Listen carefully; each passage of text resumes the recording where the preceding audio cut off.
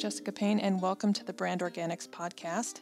On today's episode, I'm going to tackle a question I get quite a bit because it's kind of at the core of what I do, and it's about social media. So, today I'm going to answer the question, or, or attempt to answer the question, how to inspire action on social media. And um, if you've been, been paying attention to uh, you know the headlines you're you're certainly seeing a very powerful very vocal um, and in, in in some cases a very inspiring um, environment that social media can create amidst all other sorts of emotions. Um, so that got me thinking. I'm constantly talking to um, my colleagues and my clients about social media strategy and i realized i haven't done a podcast yet uh, telling you, kind of and sharing with you what some of my best practices are. And I think when you put it into context of inspiring action, I think that is something that um, is a little bit more digestible versus talking, you know, social media strategy. So, for the purpose of today's podcast, I'm going to walk you through a handful of ideas uh, that uh, I've given my clients. These are strategies that we're using right now. Some I've known for a while, and some sort of with the new environment. Um, you know, uh, now is the time for you to really try these strategies. So I'm going to speak to it in a way that anyone can understand today. Um, it's easy for me to, to talk really strategically uh, about um, social, but I think for the purpose of today, look, it's it's something we all understand because most of us are on social media in some form.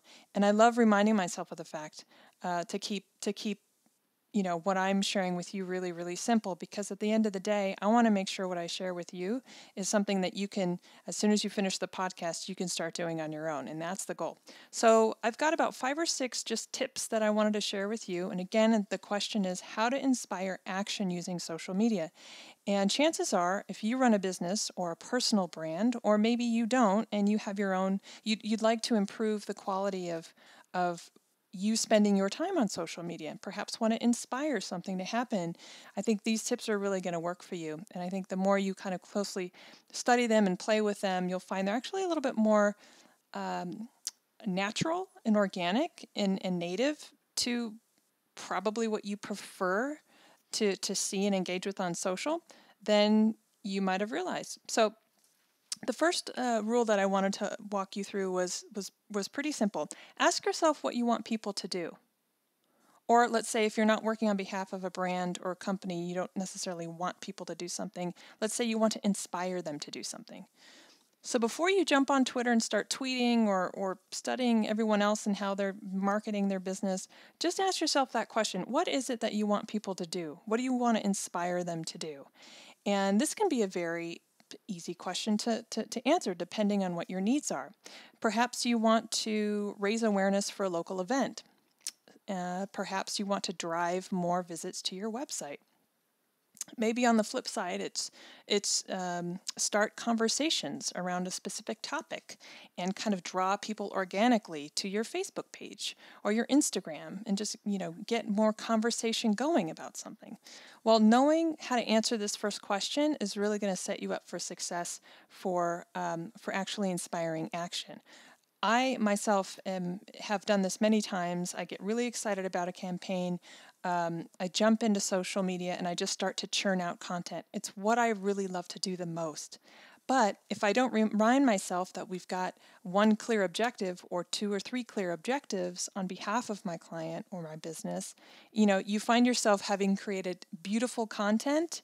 And when I say content, I mean things like posts or tweets or Instagram images. Um, you want to make sure that you spend all that time aligning all this beautiful stuff you're creating with a purpose. So, again, the first question is what is it that you want people to do? Because knowing the answer to that is going to help you stay focused and the what types of posts or tweets or, or snaps, whatever con- social media activity that you're going to be spending all your time doing. Okay, so um, two things I always hear uh, kind of um, are the biggest challenges when it comes to social media. It's sort of like um, I'm spending way too much time how do I cut down on the time that I'm using on social? And uh, how do I know that I'm coming from a place where I can add value? Those are the two biggest challenges. And um, I think answering this question is going to help focus, f- just focus yourself. So I think that's going to contribute to less time, more focused time. And if you answer this question, you're already coming from a place of value. Okay? That's kind of like a, a two in one. So that's the first question. Uh, something else you want to think about when when when you do have a specific need or a reason why you're going out on social is a nice tip, uh, and this is kind of a tip for that first question is think about what your call to action is. So, a call to action is like when you provide a simple direction. You might actually see it in an actual post. You probably have when people say, share this, you know, share this post to raise awareness for uh, mental health, for example. Or um, do you have a story to share about uh, being a woman entrepreneur. Co- leave a comment. Stuff you've probably seen in the groups you belong to, the Facebook uh, feeds you follow, whatnot. So those are little calls to action, and you'd be surprised how powerful they are when you actually include them in the post. It's funny as as independent as we like to believe we are as humans, sometimes simple direction actually gets us to do something. We kind of have to be reminded, oh, oh, right, to to engage, I need to do this. So don't don't use it um, overwhelmingly in every post, but think about is there an opportunity along with your messaging to say share this or visit our website at and then literally spell out the website so people can click over. Um, don't feel like you need to cut corners when it comes to your call to action. Don't assume people know where to go, um, where to log on, where to sign up. So, so that's something very, very important. Again, so once you're able to answer that question, what you want people to do, think if you need to really, really clarify what people need to do. The next thing is um, it's probably not surprising again if you're on social media, you kind of get a sense that there's a lot more imagery in movies, and you probably engage with more of the media rich, we call it, content than maybe just the written content. Um, so my, my second tip is think about using powerful imagery uh, and messaging combined together. That's aligned with your audience's values. And why I say that is it's one thing to post a beautiful picture um, or some amazing text, but if it's not aligned with what your audience cares about, they're not going to respond to it. So you could write this beautiful post, and if it's not aligned, you, you you're what you're going to see is kind of low engagement. People aren't going to be responding to it the way you want them to. So if you're going to put all that time into finding, um, if you're going to put all that time into creating um, the perfect post, you know, make sure you invested in actually making sure that the messaging, what you're conveying, and the image you choose is aligned. And I think the perfect example of when this um, doesn't happen is is when you see I don't know if you've ever heard of stock imagery or stock photos and these are kind of more business related. You sometimes see it in business media too, but although they're getting better, you see this kind of stiff corporate stuff shirt, these kind of stage shots, these these really cold kind of office setting or maybe even stereotypical settings and they kind of make you cringe because they're not real. They're not authentic. And now you're seeing a trend where even more kind of warmer imagery, where people are smiling, but you still get a sense that they're kind of staged. Um, data is showing that consumers are engaging with that less and less. So, a really interesting trend is like, it doesn't even have to be the perfect shot. It can be just a casual image of people really engaged or really laughing or really dancing or, you know, really collaborating. But there's definitely a sense of, of authenticity around it. So the second tip is, you know, think about, you know, using powerful imagery and messaging combined that's aligned with the values of your audience okay because they're to they're to recognize that and if you're in alignment with them and what they care about they're going to have a vested interest in what you have to say. That's the second tip. In terms of the third tip, it's it's kind of thinking about it's kind of a, a, step further on the second tip. I always say post with your senses. In other in other um, in other words, take advantage of the five senses, or or think about maybe this is easier how you respond when you see just some amazing um, social media content out there. A perfect example is this. Um, you know, if you go to the National Geographic page on Facebook, you know that when the minute you click on it, you're going to see some incredible images. Whether it's um, baskets of spices in a bazaar or, um, you know, uh, an, a herd of elephants crossing the plains, you're going to be brought right into a situation where it's like it's it's really integrating um, your five senses, and that's why some of these images are unforgettable and not. it's no shocker that National Geographic is among the top most followed Facebook pages. It's because people love the images. And by the way, people love sharing and commenting on the images um, because it, it's just something that really tickles those five senses. I'm not saying shoot for a National Geographic image. What I'm saying is think about the best visual way to convey your story. You know, it, there's a reason why we love to watch those five minute um, cooking uh, videos on, on Facebook, or we like to share, um, you know, very granular, handheld, but fun and authentic dance videos. You know, someone's holding it on their smartphone and it's in some sort of dance studio, and you've got these kids dancing. The quality is low, but it's totally authentic. But you can hear the music, you can hear the laughter, you can see them dancing. It's this, the, all the senses are kind of engaged, right? So that's the type of content people people are looking for. So you don't have to make it perfect, but think about the most the, the most visual way uh, compelling way that you can really engage people and think about those those senses. And if it's if it's easier for you just think about the content that you love to interact with the most. For me i love watching those cooking those diy cooking videos. So i just watched one on how to a 30 second fast forwarded video of how to make a seven layer dip and i think i watched it like three times or like I'll watch a video on chocolate melting. It's like these things get millions of views for a reason. It's because um, people will engage with content that that that um, really pulls at at their sentences at their senses. So the next tip is really kind of um, th- this kind of goes. This is a marketing rule, but but I think on social media because it is social, it, it's especially important. And sometimes it's easy to forget. So again, we're talking about inspiring action and what people will are likely to engage with because you want them to engage, right? Whatever way you want them to. Make it worth their while. And the best way to do this is to either incentivize, which isn't always the case, but it definitely helps, and reciprocate. Okay, so let's talk about um, incentivizing first. Now, there's a reason why you always see these offers, and, and incentivizing doesn't mean constantly slap up promotional campaigns or coupon codes or you know so that every time they see you you're trying to sell them something. That's not what i'm saying. What i'm saying is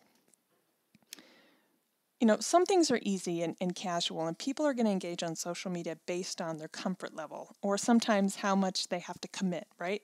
Liking is easy. It's just one thumb tap sharing a little bit more. Uh, they're going to share it and maybe write something a little bit more time.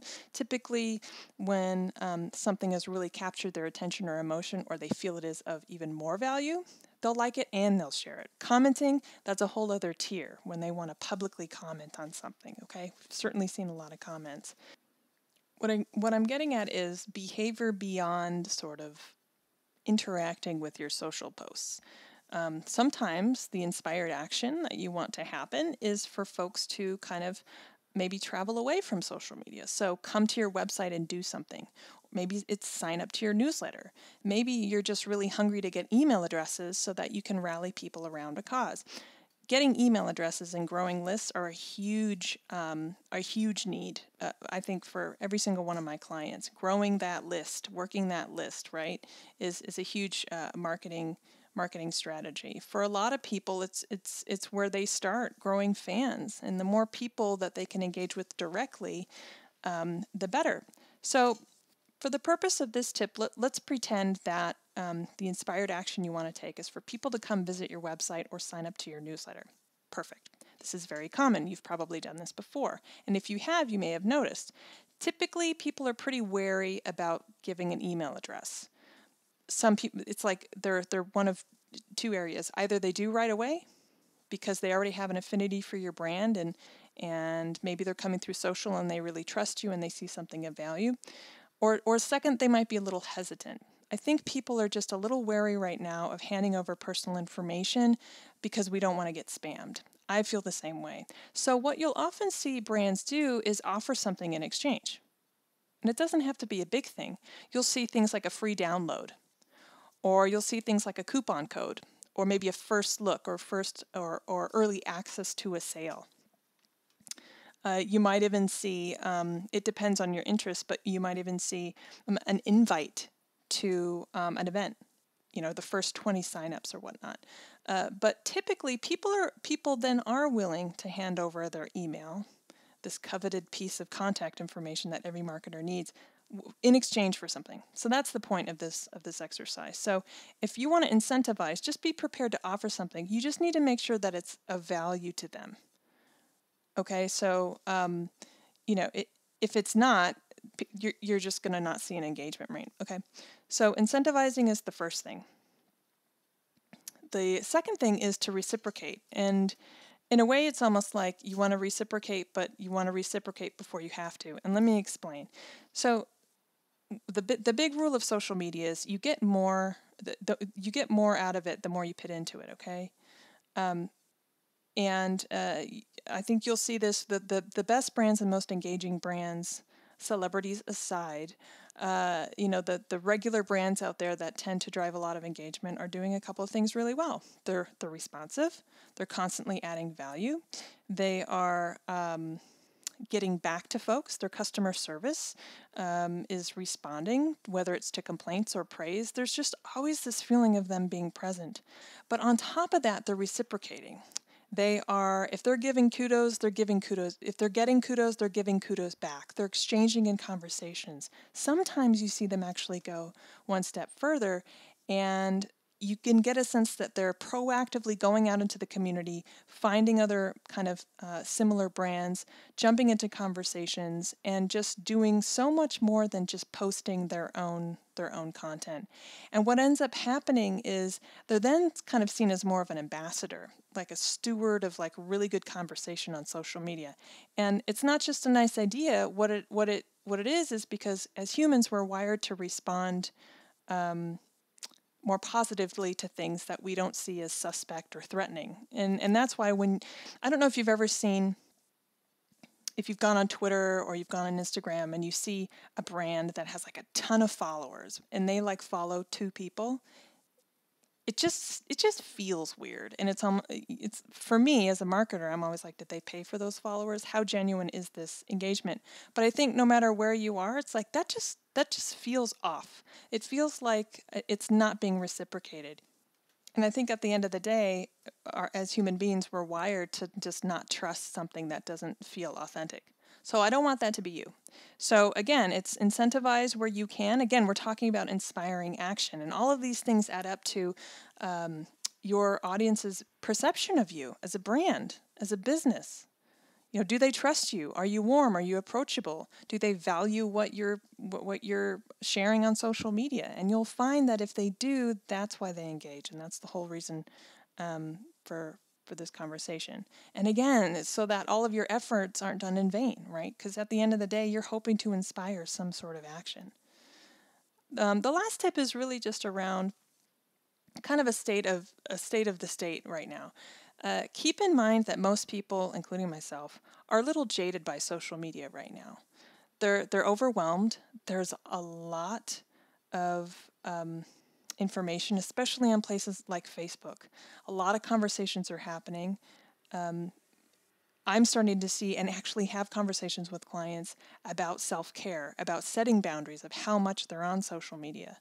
Um, personally, if I didn't have to do social media for a living, um, I probably would would rarely be on it uh, uh, this uh, this time of year. I say that, and then of course, I, I I watch a video and I'm inspired. You know, whether it's the Women's March and seeing so many people come together and the and the powerful imagery of the 750,000 women marching um, in Los Angeles, or you know maybe it was the you know another powerful thing I watched uh, recently was when the New England Patriots did their they won the Super Bowl, and so here they were parading down uh, through the streets of Boston, and, and a friend of mine was was Facebook live was broadcasting live on Facebook. So you know I while some some some days you may be a little overwhelmed by social media, the next day may surprise you. Uh, but my my whole point is just be cautious right now. Just be extra sensitive to how you're how you're stepping forward on social media. Um, And, and I think if you just stick to your authentic roots and your story and how you want to add value and inspire action, I think you'll be fine. But just know that generally, people as a whole are really picking and choosing where they spend their time on social media. So, as long as you match what you're doing with the right channel, and that's where I'll close, uh, you'll have greater success of it. All right, that does it for me. There was a lot to cover in this episode, and I just wanted to kind of jam pack you with with these tips I've been giving other clients and, and colleagues. They work. And I think the overall message is if you want to inspire action through social media, just again, just be authentic. Really put that thought up front into how you can add the most value, and then how can you tell it in a compelling way, very, very simply, um, with with uh, using visuals, using imagery, using um, live streaming or powerful storytelling. So that does for me. Uh, thank you so much for listening to today's podcast. If you have a, a, a, general interest in this topic, social media, let me know because I'll be covering this in, in other podcasts and I want to tailor it to your, your needs. Thank you so much for listening, and I'll see you next time on the Brand Organics podcast. If you have any questions or you want to get in touch with me or talk about today's show, you can find me on my website, which is jessicapayne.us, or on social media. I'm on Facebook, Twitter, and Instagram, and I look forward to connecting with you soon. Thanks so much. I'll see you next time.